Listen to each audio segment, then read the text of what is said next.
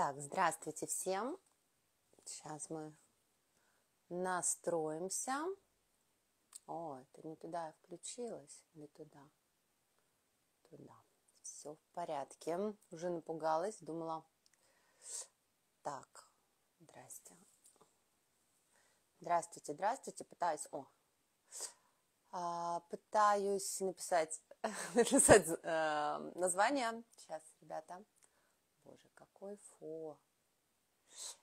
Сейчас, сейчас, сейчас, сейчас, чтобы вы видели, о чем мы сегодня будем болтать. В общем, я почти что... Вот, класс. Сейчас, ребят, закрепляю тему. Угу. Так, привет. Я почти что э, супергерой, потому что я не знала, что воскресенье на самом деле э, не так э, легко найти время на эфир. Ну, в общем, я поняла, что его вообще нелегко найти. А, не знаю, у вас так или нет, поэтому я просто решила это сделать. А, приветики всем, а, рада вас видеть, меня зовут Оля Ермилова. Если кто-то не знает, то я занимаюсь тем, что помогая людям с помощью изменения своего мышления управлять своей жизнью. Вот так это все звучит, но если так по-человечески совсем, я учу вас думать так, чтобы вам было классно, и чтобы вы могли получать в жизни все, что вы хотите. И я учу вас понимать, чего вы хотите. Вот так, вот так все круто. Значит, сегодня э, я закрепила там внизу тему, кто в эфире ее видит, это называется тема «Феномен успешных людей». Я, короче, сегодня решила, думаю, ну, надо же поумничать как-то в воскресное утро, и я решила поумничать на тему того, чем вообще вот эти успешные люди, на которых вы смотрите, на которых иногда так вот э, голова закипает, как этот человек все успевает, откуда у него столько сил, а что он вообще такого делает, что в любые жопные ситуации он все равно зараза прорастает. Я не знаю, у вас так бывало или нет, но иногда наблюдая за какими-то людьми, особенно знакомыми, да, то есть, знаете, жили-были в одном садике, значит, э, ходили в одну школу, и тут, короче, у тебя в жизни ничего глобально не поменялось, а у человека, значит, все лучше, лучше, лучше и лучше. И ты такой сидишь со стаканчиком пластмассовым и думаешь, ну когда у него будет что-то плохо? Вот, э, вы знаете, это такая интересная э, штука, феномен человеческого мозга, мне кажется, когда мы поджидаем, а, что кто-то все-таки пойдет на дно, и ты такой, Yes? Вот, вот я же знала, что не так все хорошо. То есть люди прям ждут э, какого-то такой какой-то неудачи. Я на самом деле э, не до конца разобралась, почему нам от этого легчает, но я замечала такие вещи. Но тем не менее, э, обычно человеку, у которого все было в жизни хорошо и который попал в жопу, спустя время снова у него становится все хорошо, и все равно он идет постоянно наверх. Ты можешь за ним наблюдать длительный период времени, видеть, что он меняет дорожки, у него могут меняться профессии, семьи, там все что угодно, но он все равно продолжает идти наверх. И вот э, как раз э, этот вопрос, э, когда я с, с, общаюсь со своими учениками или со своими знакомыми, э, часто бывает какая-то такая тема интересная поднимается, и вот недавно одна поднялась, и поэтому я решила вывести, разобрать немного, что вот в этих, блин, людях э, есть. Тут есть такая ремарка, я скромно тоже отношу себя к этим людям, потому что в моей жизни а, было очень всяких много разных а, ситуаций, плохих, хороших, разных. На самом деле это такая очень а, всегда субъективная оценка, но вот вы знаете, каждый э, мой год, каждый вот э, мой этап, он всегда э, идет все равно лучше. То есть даже переживая какую-то там яму, кризис, там, неважно, финансовые, в отношениях с самим собой, с кем-то, у меня все равно потом становится все лучше, чем было. То есть такое непотопляемый корабль. Короче, прям было долго. А, я сразу вас попрошу, будет очень классно, если вы будете задавать какие-то вопросы по ходу, тогда у нас будет с вами более такое общение, я обещаю на них обращать внимание. А, ну, давайте начнем с каких-то аспектов вот этих вот успешных людей. Первое наблюдение, ключевое, которое я заметила, что обычный человек, человек обыкновенный, он действует в основном тогда, когда у него что-то в жизни плохо.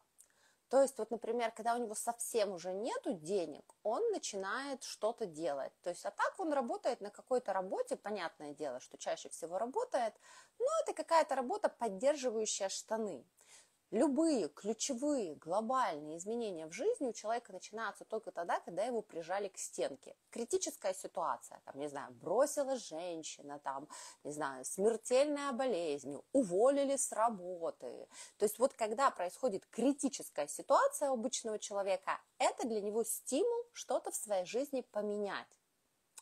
Если же мы с вами проведем параллель между человеком успешным, вот у нас человек успешный будет человеком блестящим, а, ой, обожаю эти театр кукол, это у нас чехол, человек обычный, а это у нас успешный человек, человек э, блестящий, да, он такой, он такой же, в принципе, как обычный человек, только он, э, у него есть такая цепь блестящая. Так вот, человек э, успешный, он всегда действует вне зависимости от того, на какой он ступени находится. То есть, когда у тебя все хорошо, ты не расслабляешь булки, да, на своем, как это называется, уровне комфорта, да, ну, типа, ну, все, мне теперь хватает зарабатывать, там, у меня нормально, неважно, работает бизнес или нормальная работа, у меня нормальные отношения, нет, этот человек все время ищет себе новые приключения, да, мы часто говорим приключения на свой зад, он все время повышает планку. Успешные люди постоянно ищут, вот они только достигли какого-то уровня, казалось бы, сиди, отдыхай, почивай на лаврах, но нет, то есть ты сразу начинаешь себе повышать планку. Ты думаешь, теперь хочу вот это больше, теперь хочу, значит, там продавать не 100, а тысячу, теперь хочу, значит, продавать не на одну страну, а на весь мир, э, теперь хочу вот, чтобы у меня отношения были не такие, а вот вообще такие, только купил себе первую квартиру или съехал на съемную, уже мечтаешь там от родителей, уже мечтаешь, как купишь свою. То есть успешный человек – это человек, который действует и постоянно повышает планку. У него не существует существует уровня комфорта. Как только он попадает на уровень комфорта, он тот же э, делает его зоной дискомфорта. Есть такая классная теория, возможно, вы ее слышали, я вам ее напомню. Она называется э, теория рек. А, американская теория, америкосы ее привезли с какого-то тренинга, и мы удачно ее все умные люди, видите, как я себя причисляю к умным людям, подхватили. Теория рек выглядит следующим образом, что все люди, которые есть, они поделены на, ну вот, как на определенные реки, сидят в определенных реках. Вот есть такая, знаете, маленькая, вонючечка, простите, речушечка такая, такая маленькая, такое озерцо, вот, и там, например, люди, которые там живут в каких-то маленьких городах, у которых там зарплаты там несколько тысяч гривен, да, у которых потребности, они не покупают особо новые шмотки, пока старые не сносились, да, у них нету там мысли о том, чтобы детей отправить учиться за границей, нет, они тут прикольные, то есть им тут хватает денег на выходных выпить, значит, у них тут все окей. И среди них есть даже какие-то более крутые, например, которые там, не знаю, пьют э, не самое дешевое пиво, а чуть-чуть подороже. И вот и у них такая, такое общество, среди них есть крутые, среди них есть не очень крутые, но это их круг. Есть другая река, например, рядышком, в которой уже зарабатывают, там, например, по 20 тысяч гривен люди. Вот, и это кажется людям очень круто. Эти люди там иногда покупают себе какие-то новые вещи на распродажах или на рынках, вот, у них есть какой-то определенные круги интересов, как они проводят время, вот, и вот они там друг среди друга есть тоже крутые и не очень. Есть там круг людей, да, там следующая река, в которой там а, люди зарабатывают по несколько тысяч долларов, которые ездят на хороших машинах, которые строят карьеру там в хороших компаниях или сами являются работодателями маленького бизнеса. Есть там река, где сидят все сплошные миллионеры. И, в общем, смысл в том, что таких рек огромное множество.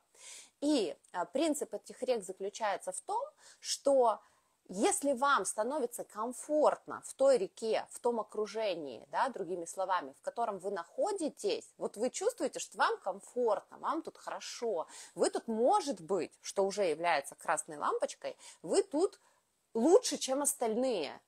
И поэтому вам тут хорошо. Вы прям тут себе чувствуете, тут все спрашивают, о, ну как ты там провел выходной такой? Я говорю, я в ресторан типа сходил. О, ты купил себе кроссовки Nike, и ты бог, потому что ты купил себе кроссовки Nike там за 10 тысяч гривен, поэтому ты бог, ты просто супер бог, да? И вот и тебе в этом комфортно. Так вот, если вы хотите расти и развиваться, вам необходимо научиться, как только вы себя в одной реке чувствуете комфортно, переходить в другую, где вы будете самым лохом конкретно в этой реке. Извините за это такое лохом, мне нравится это слово. Ну, короче, где вы будете самым в самом низу, самым простым, бедным в этой реке. Почему? Потому что окружение – это то, что нас формирует.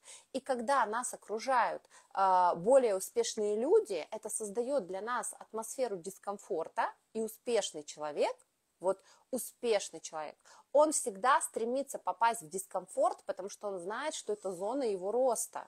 Потому что если ему комфортно, то он начинает застревать. Следующая такая интересная теория в жизни есть, что э, нельзя стоять на одном месте. То есть если вам кажется, что вы э, достигли какого-то уровня и вы на нем закрепляетесь, сегодня эта практика не работает. Вы должны понимать, что мы сегодня живем с вами в таком мире, который очень стремительно развивается во всех отраслях, во всех направлениях, да, несмотря на то, что мы переживаем какую-то гребаную гребаную историю с войной, где убивают людей, но в параллельной реальности, да, а, помимо этого есть развитие, да, люди летят в космос, на Луну, постоянно какие-то, ну, я имею в виду, что уже собираются, а, постоянно идут какие-то новые открытия, вон iPhone каждый год а, творит какие-то чудеса, и вы должны понимать одну простую вещь, что если вы постоянно не идете в сторону развития, не улучшаетесь, постоянно не повышаете свою планку, то вы отстаете, ну, то есть вот смотрите, вы, например, купили себе сегодня последний iPhone, да, и вы считаете, что вы царь-бог. Вот все, у вас последний iPhone, вы прям вот, ну, не знаю, словили, вот, вот все, ну, вы чувствуете себя богом. Но если вы его три года не меняете или четыре, то вы уже находитесь с отстойным айфоном, понимаете? Потому что технологии, если раньше мы вообще были счастливы, что у нас был вообще телефон, да, был телефон и ты бог, то сейчас, если ты постоянно не обновляешься, ты уходишь назад. Если, то есть, э, еще раз, давайте так подытожим. Находиться сегодня, закрепиться на одном месте нельзя. Как в Алисе стране чудес. Если ты двигаешься очень быстро, то ты стоишь на месте. А если ты хочешь двигаться вперед по этой цепочке, то тебе нужно двигаться в два раза быстрее, понимаете? То есть вы э, не можете сегодня тут зависнуть. Вы как на эскалаторе. Вы вроде бы встали, но вас понесло назад, как в течении, да, вы заплыли куда-то на море, и вам кажется, что вот, я на середине моря, но течение вас несет, и если вы не будете грести, чтобы хотя бы оставаться на месте, то вас вообще снесет. А если вы хотите еще плыть, то вам нужно грести особенно активно. Так вот, как раз мозг успешного человека, те люди, на которых вы сегодня смотрите, я не знаю, завидуете вы им, восхищаетесь вы ими, тут каждый как бы по-своему, я скажу вам честно, я всегда таким людям завидовала. Вот э, я себя помню, наверное, лет до 30, завидующим человеком, но эта зависть была для меня не деструктивная, да, что такое деструктивная зависть, это когда я сижу, завидую, да, смотрю на стройную девочку, завидую ей, сижу, жру, да, или там смотрю на успешного человека и обливаю его грязью, рассказываю, какой он. Нет, моя зависть была такая, что она мной двигала. Я смотрела и думаю, я тоже так хочу, я тоже так хочу, что я могу сделать, как еще? Вот мной это двигало. А для меня это как бы очень такой важный двигающий фактор и, и двигающий момент был. Так вот, я не знаю, как вы смотрите на вот этих людей, но вы должны понимать, что если вы хотите быть успешным человеком, то это человек, который постоянно стремится вперед. И вот тут есть следующий такой нюанс э, нашего роста. Существует э, таких две теории. Я сегодня прям, по-моему, по теориям просто перевершила сама себя. А, а, кстати, поставьте плюсики, кто с Украины, пожалуйста, и чтобы я понимала, нас тут много, из, ну, даже если вы сейчас не в Украине, то вы украинец. Тебе скажут, а кто тут еще должен быть? Ну, давайте, проверка на своих. Значит, давайте по теориям. Э, уже сейчас я запутаюсь. Ля-ля-ля, Олечка, давай, давай, давай, давай, давай, давай. Господи, я забыла, что хотела сказать. Но это вот, вот видите, вот, вот пошла девчина в Украину. Давайте, о чем мы говорили? А, мы говорили про теорию рек, это я помню. Я хотела вам рассказать еще одну теорию. Мы двигаемся вперед и двигаемся назад. Боже, вот вы знаете, мне иногда кажется, что это то ли старость подкралась незаметно, то ли что. Но вот как так можно съехать с темы, это просто. Вспоминайте, о чем я рассказывала. Сейчас как раз проверочка на вас. Так, теория. Хотела рассказать вам теорию, теорию, теорию. Если мы не двигаемся, мы двигаемся про успешного человека. про то, что можно развиваться. Во, отлично, все, молодец. Смотрите, а, про развитие. А, можно развиваться по двум схемам. Первая, э, первая история а, развития – это когда мы развиваемся от негативного.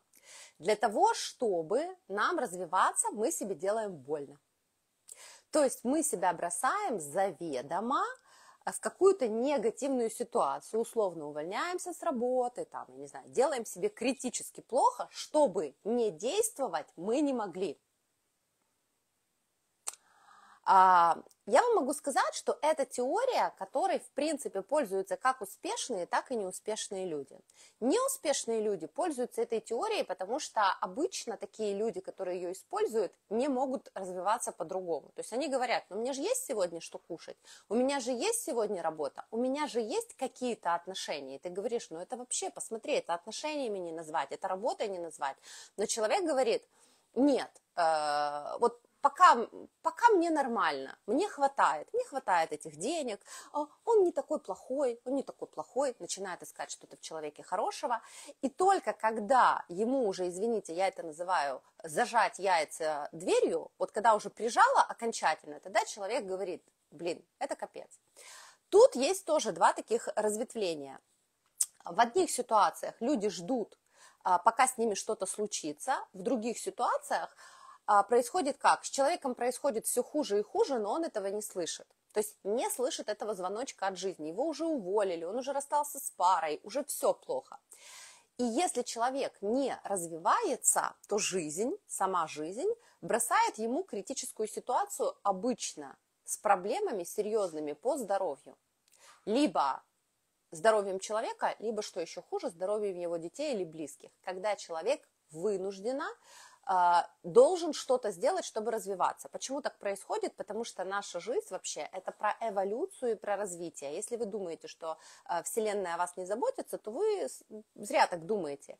Просто она вам посылает некие определенные приключения, скажем так, для того, чтобы вы включились. Но это самый такой опасный момент, когда вы ждете, чтобы у вас было смертельное заболевание, чтобы вам наконец-то захотелось жить, да, ну, то есть это плохая история. Вот, и есть второй путь развития от а, наоборот, от того, что тебе хочется больше, от удовольствия.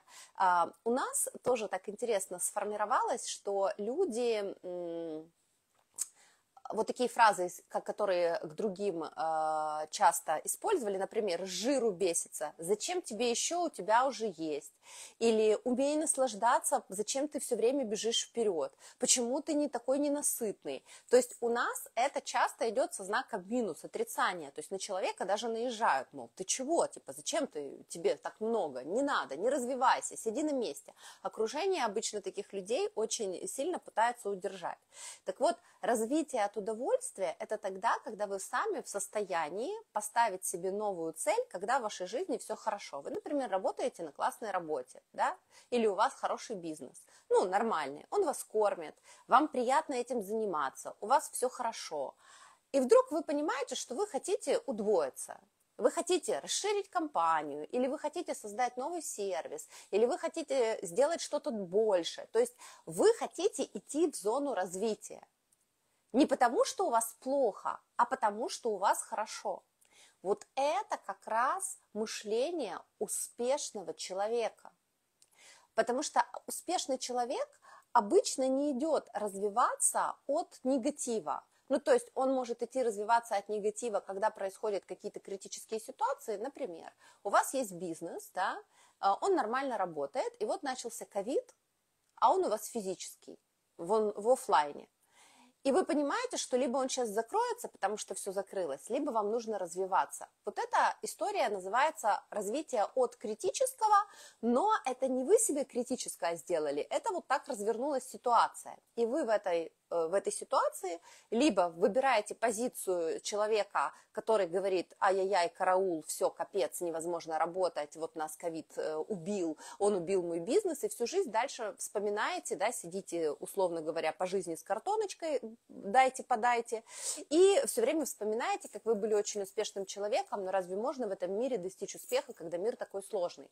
Либо же наоборот, вы в этот момент говорите, так, окей, значит, нужно искать какие-то новые возможности, и вы придумываете выйти развитие, да, так, например, многие рестораны посоздавали свои сервисы доставки.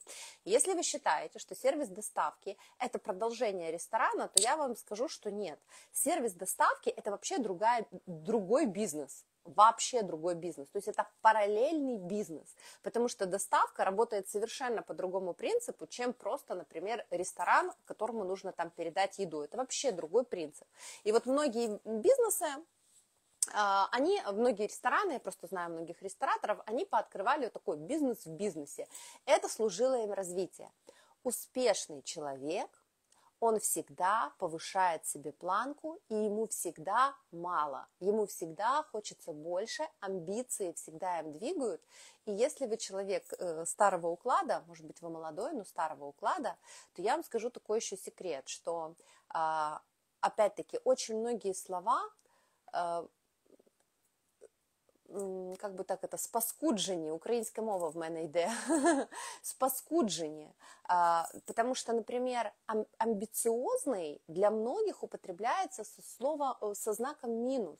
То есть люди пытаются обвинить тебя в том, что ты амбициозный, в том, что ты требовательный, в том, что ты... Вот заметьте, почему, например, обычные люди, которые работают на работе, часто не любят своих начальников. Потому, и они говорят, он такой требовательный, он требует от меня дисциплину, он требует... Э, запомните, если ваш начальник от вас что-то требует, вам прям супер повезло. Вам прям супер повезло, потому что, во-первых, ваш начальник не похуист, во-вторых, это означает, что компания может зарабатывать. Во-вторых, если компания может зарабатывать, значит, вам есть где развиваться, да, где расти, и есть у кого учиться. И это прям супер новость для вас. То есть, если вы входите в состояние того, что вы находитесь в компании, которые все друг на друга забили, вам говорят, так, когда хочешь, тогда и приходи, сколько хочешь, столько и продавай, как хочешь, так и общайся с клиентами, вообще делай то, что хочешь, сиди с телефоном, да, можешь опаздывать, все, вы находитесь в компании, в которой просто начальник уже давным-давно на вас забил. Вот это важно понимать. Успешный предприниматель, успешный человек – это тот человек, который не просто сам достигает успеха, который создает вокруг себя успешную команду и делает, помогает другим людям выработать в себе навыки и таланты какие-то открыть, которые также помогут быть вам успешными. Если вы проработали в успешной компании год, два, три, поверьте, вы этим успехом уже пропитались. И вместо того, чтобы включать в себе критика, знаете, плыть против течения, всячески отравлять, попробуйте войти в это в течение. Попробуйте посмотреть, какие классные на самом деле требования выдвигаются. Посмотрите на то, как думает ваш начальник. Вместо того, чтобы критиковать его, что он там мало вам платит, что он там что-то делает плохое, посмотрите и найдите в нем очень много хороших черт и качеств, которые вы можете взять для себя. Успешный человек всегда размышляет так. Если вот взять, например, меня, то я а, ну, выросла, я уже об этом тысячу раз говорила, в обыкновенной абсолютно семье.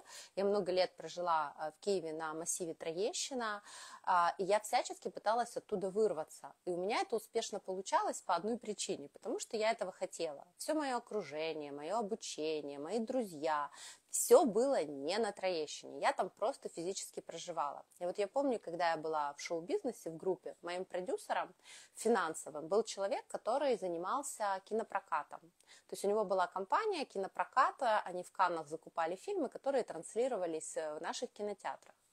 И ему было тогда 30 э, с небольшим, 34-35. Он мне казался, безусловно, очень старым, потому что мне было 19-20. И я помню, что э, я э, смотрела на него, да, у меня, конечно, было к нему много критики, почему он нам так мало платит, почему, ну, как естественно.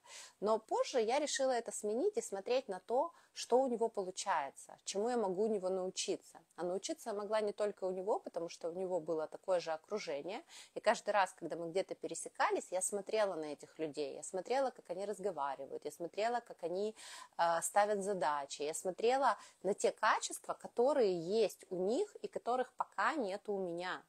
И вот это вы должны понимать что если вы в себе сможете, ну, научитесь наблюдать за успешными людьми, вместо того, чтобы их критиковать, начнете искать в них хорошее, начнете в себе это взращивать, то у вас тоже будет это получаться. А, давайте вернемся, посмотрим. Будет, кстати, очень здорово, если вы будете давать обратную связь, прям будет классно. Ну, давайте продолжим, да, посмотрим еще на феномен успешных людей. Я вам уже сказала, что это люди, которые развиваются не тогда, когда у них все плохо, а развиваются постоянно. То есть это такой очень, ну, как по мне, супер э, крутой э, супер крутое отличие. Вот смотрите, мы с вами столкнулись э, с войной, и очень для многих людей этот момент э, стал сложным, э, безусловно, не только физически, когда пришлось переехать или какое-то время не жить дома, да, или вообще сменить точку, где он живет, но и психологически. Психологически собрать свой мозг в такой момент невероятно сложно. Я, например, считаю себя, вот знаете, из людей с врожденным качеством сильного человека ну, такого непотопляемого корабля. Вот такое врожденное во мне. Вот хер знает, откуда оно взялось, оно врожденное. Но э, когда началась война, меня долбануло, конечно, мощно. Почему нас долбасит в такие моменты? Нас долбасит обычно тогда, мы теряем почву из-под ног, когда с нами случается что-то, а, абсолютно новое, б, то, к чему мы вообще не могли приготовиться, да, то есть мы как будто бы теряем вообще вот какую-то опору. У нас всяческая опора уходит, потому что непонятно становится все, и мы изначально хватаемся за то, что дает нам выжить, да, то есть нам вообще хочется жить просто, то есть у нас такое появляется красная кнопка, бляха, просто не хочу сдохнуть. Когда время немножко проходит, человек достаточно быстро адаптируется. У нас есть классное качество адаптации к любым ситуациям. Мы адаптировались, и у нас появляется следующее, а как нам кушать, как нам жить, да, а у таких, как я, появляется, а как мне развиваться. Потому что если вначале ты радуешься просто тому, что ты жив, то потом ты снова возвращаешься к каким-то своим ценностям. Сука, я хочу ездить на хорошей машине, я хочу... То есть это очень-очень классно. Потому что если психологически вы слабые, то вас выбивает настолько, что вам вообще ни до машины, ни до чего, вы просто хотите выжить, но в этот момент задайте себе вопрос, а нахрена? Ну, что вы хотите выжить? Вот выжить и что? И что? И что? Ну, выживете вы, и что? Если у вас ничего нету, если вы ничего из себя не представляете, если вы перепуганы и растеряны, что вам это выжить даст? Вы будете травой травой. Поэтому для того, чтобы вы не были травой, у нас снова появляются какие-то желания, да, какие-то снова амбиции. Я хочу выжить в маленьком домике, вот, э, да, в каком-нибудь получше, можно побольше. Вот, потом я хочу все-таки иметь какую-то работу, я хочу что-то развивать, я хочу что-то создавать. То есть вот этот ваш испуганный человек, который спрятался, он выходит, и у него начинается снова амбиции. Он снова хочет машину, он снова хочет жить, он снова хочет там отношения, ему снова начинает хотеться жить. А когда проходит еще немножко времени, то вы а, включаете в себе сильное желание. Вот знаете, как громкость включается, потому что ты думаешь, если жизнь может так быстро закончиться, то какого хера я нахожусь в инстинкте самосохранения постоянном? Какого хрена я постоянно говорю себе о том, что вот знаете, как в детстве, вот вырастешь, вот и ты себе говоришь, ну, потом я куплю дом, потом у меня будут отношения, пока побуду в этих, потом у меня будет какая-то хорошая жизнь, пока я как-нибудь, ты думаешь, какого хера, если я могу сдохнуть, если ракета ко мне может прилететь в любой момент, если может наступить апокалипсис, сука, метеориты летят, то есть вы же посмотрите, что вообще творится, какой-то полный пиздец.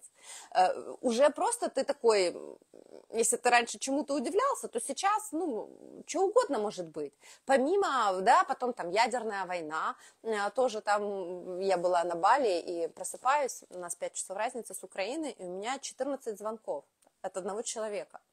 Я думаю, блядь, что случилось такое? Знаете, смотрю новости, вроде бы Киев жив, я звоню, говорю, слушай, ты же знаешь, что я сплю. А он мне говорит, Оль, написали, что ядерная война, и мне очень хотелось с тобой поговорить. Написали, что может быть ядерный запуск. Не ядерная война, ядерный запуск. Я, я сижу, извините, ржу, говорю, ну, ребят, ну, совсем уже, конечно, мы приехали, но ценность, что я всем этим спичем хочу сказать, ценность жизни сильно возросла. И когда произошел вот этот момент того, что, блин, а если я все равно могу умереть, я хочу жить на максималках. Это как, знаете, ты ездишь на машине, которая там у тебя э, хорошая, с хорошим движком, и ты все время едешь 60-80 километров. И потом ты понимаешь, что ты можешь сдохнуть. Ты смотришь на свою машину и думаешь, блин, да какого хера, я ни разу даже на своей тачке не погонял. И ты педаль э, в пол, да, и там, и погнал, просто чтобы покайфовать. Вот такая же история происходит с нами. Когда начинается, вот успешный человек понимает, да какого хера я хочу на максималках. Я хочу ставить самые большие цели, я хочу, э, я просто хочу жить, я хочу успеть столько, сколько я успею. Неважно, мне осталось 150 тысяч лет, или мне осталось 10 лет жить, или мне осталось 10 дней жить, да, никто этого не знает. И вот включается вот эта вот история жизни на максималках. Это то, с чем столкнулись опять-таки украинцы. Когда я увидела, что многие пропали, пропали, вообще с радаров пропали, предприниматели пропали с радаров, там, девочки какие-то, которые были очень классные, яркие до этого, просто исчезли, просто исчезли. Затем э, прошло какое-то время, и какая-то часть из них вот эта успешная, она снова появилась. Она снова такая, знаете, взорвалась с новым залпом, и я смотрю, и пошло расширение, а мы на мир расширяемся, а мы на то расширяемся, а я развелась наконец-то, у меня было несколько клиентов, с которыми мы никак не могли развестись, точнее, которые никак не могли принять этого решения, хотя были откровенные отношения, абьюза, еще чего-то. И вот мы работаем с, с девочками, а, и я говорю, ну, послушай, ну, а я такой, знаете, не очень типичный какой-то там психолог-коуч, я говорю, блядь, он просто урод, тебе надо от него уже уйти, потому что я понимаю, что он не может этого сделать, вот, вот сама, как бы я ее не вела. И вдруг мы там так долго над этим работаем, ну, какое-то время. И вдруг все резко поуходили, все резко позакрывали то, что не надо, попереезжали. Люди сделали за пару месяцев, там, за полгода то, что не могли сделать за всю свою жизнь. Реально. И это как раз э, такое открыло, ну, открыло такую мощную энергию. Так вот, если эта энергия у вас открывается, это тоже энергия успешного человека. Смотрите, есть такая классная штука, многие считают, что успешные люди это где-то там, это они, вот там, вот, вот, вот по ту сторону, а я пока не успешный. Я вам такой секрет расскажу, что вот этот ген успешности, он есть у каждого из нас. То есть вы априори успешны. Вот знаете как? Э, то есть если вы это не используете, вы пока это не открыли, то это не говорит о том, что у вас этого нет. У вас это есть, просто вы это не используете. И я сегодня, может быть, вам придется переслушать этот эфир, а, рассказала вам о нескольких вещах, которые вам нужно просто активировать. У вас было такое, когда вы приезжаете в отель, а, живете там, выезжаете и в конце открываете шкафчик и видите, что там висели халаты, которых вы не видели, а, видите, что там был утюг, которого вы не видели, обнаруживаете, что там были бесплатные фрукты, которые сгнили, вы такие думаете, ё, блин, как я вообще всего этого не заметила? У меня такое было 100 тысяч раз. Поэтому я сейчас, когда приезжаю в отель, я его сначала весь вообще обсматриваю. Не только свой номер, но еще и территорию. Потому что часто бывает, что я половина опций не вижу, не знаю, не понимаю. Точно так же и в вашей жизни. Вы должны понять, что у вас есть все абсолютно для того, чтобы вы могли достичь успеха, чтобы вы думали как успешный человек, чтобы вы действовали как успешный человек, чтобы вы им стали. Но проблема главная в том, что ваша система не активирована. Вот и все. И э, для того, чтобы ее активировать, нужно совершить, ну, просто ряд определенных, достаточно шаблонных действий. И вот, как раз про это я вам хочу сейчас сказать. Значит, а, давайте к самому простому. У меня первого числа стартует а, мой уже такой а, крутейший тренинг «Рерайтер жизни». Он платный, но сейчас речь пойдет не о нем. Он мега крутой, потому что он помогает вам активировать в себе нужные системы и понять, чего вы хотите. Но Хорошая новость заключается для вас в том, что 24 числа стартует мой тренинг бесплатный, трехдневный, который называется «Взлом реальности». Он супер крутой.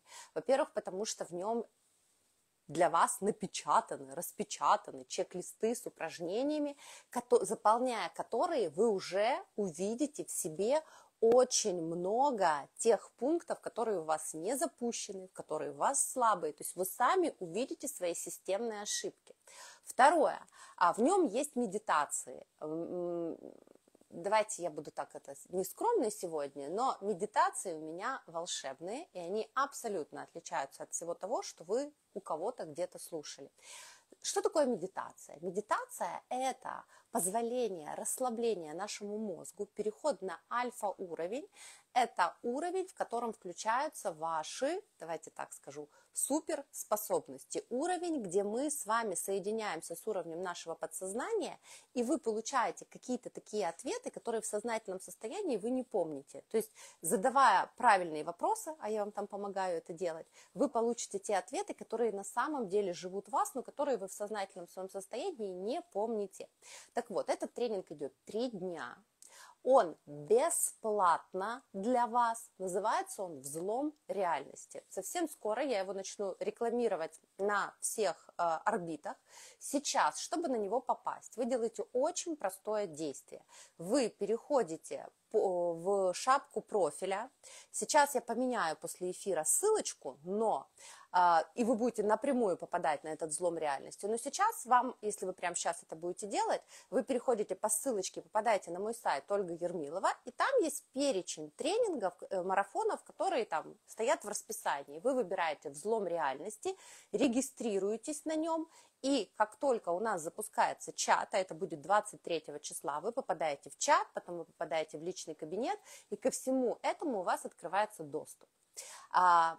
Мне очень хочется, чтобы вы попробовали, хотя бы попробовали немножко с собой поработать.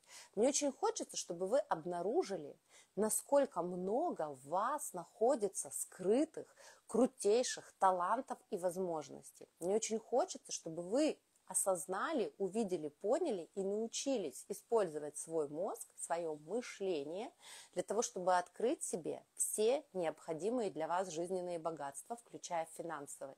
Я знаю, что многие люди в это не верят. Я знаю, что многие люди в это верят, но ни хрена не делают. Я знаю, что нам сложнее всего поверить в то, что у нас все есть, и на самом деле, меняя свое мышление, мы открываем, мы как будто бы прозреваем и начинаем видеть в нашей жизни те возможности, которых раньше не видели. Но я очень хочу и надеюсь, что те люди, которые смотрят мои эфиры, они в состоянии хотя бы три дня три, тут циферку не могу вы, вы, показать, три дня посвятить этой работе. Я вас уверяю, что даже после этих трех дней у вас начнутся достаточно мощные изменения. А если вы захотите пойти дальше и прийти на мой марафон «Рерайтер жизни», где мы с вами пишем сейчас книгу, в формате книги мы описываем ту жизнь, план своей жизни, к которой мы хотим прийти через 6 месяцев. И дальше работаем над этим. Это безумно э, интересный формат, но я вам могу сказать по изменениям глобальным в своей жизни, что все это прекрасно работает. И у вас есть сейчас такая возможность это узнать. Поэтому я вас очень жду во взломе реальности. Вот если даже вы сейчас не запишетесь и увидите у меня потом где-то в сторис взлом реальности, переходите и записывайтесь. Но очень важно уделите этому время. У нас всегда с вами хватает времени на все, что угодно. Успешный человек от другого отличается тем, что он умеет выделять главное и все остальное. Так вот, развитие себя и инвестиции в себя, и постоянное обучение по разным уровням, чтение книг, слушание правильных материалов, общение с успешными людьми, с интересными людьми, давайте так назовем. Прокачка себя – это правило успешного человека. Успешный человек, еще раз, начинает заниматься своим развитием не тогда, когда у него все плохо, у него нет денег и начались проблемы. Успешный человек делает это регулярно, так же, как я регулярно пью по утрам латте. Это абсолютно нормальная привычка – Именно поэтому он и успешный, потому что он постоянно идет по этой дороге и каждый день работает над собой и над своим успехом. Поверьте, это не просто слова. Я э, сама создавала и продолжаю создавать свою жизнь уже вот э, почти 40 лет. Э, я общалась с огромным количеством людей, я обучалась у огромного количества людей, я обучала большое количество людей. И я э, очень люблю, это такая моя природная способность э, или, не знаю, моя любовь, я очень много анализирую как люди думают, э, чем отличаются те, у кого получаются и не получаются. И я стараюсь эту информацию максимально вам обрабатывать, не быть тут профессоршей, не быть очень сложным каким-то человеком, а на максимально простом языке доносить вам ценные и важные вещи. Поэтому я вас жду во взломе реальности, потому что я точно знаю, что после него у вас очень много в жизни моментов начнет меняться. Это будут ваши первые шаги. Захотите ли вы там идти со мной дальше, это уже ваш выбор. Я никогда не давлю ни на чей выбор, потому что я всегда все люблю по любви. Потому что считаю, что любовь – это наша самая мощная энергия. На этой прекрасной ноте я буду заканчивать. Я вам всем благодарна за то, что вы пришли на эфир. И я вас очень попрошу, для того, чтобы эфир смогло увидеть большее количество людей, а в этом случае я его оставлю, оставить небольшой комментарий после публикации. Просто написать о том, понравился вам эфир или не понравился вам эфир, рекомендуете вы его посмотреть или нет, пожалуйста. Это очень ценно и важно для меня а, и для того, чтобы большее количество людей его видела. Все, я вас всех обнимаю, желаю вам классной, а, классного воскресенья, желаю, чтобы вы сегодня были наполнены а, самыми позитивными вещами. Желаю, чтобы сегодня в Украине было максимально тихо, чтобы мы с вами провели классное воскресенье. Вот. И вообще пусть наша жизнь будет потрясающей.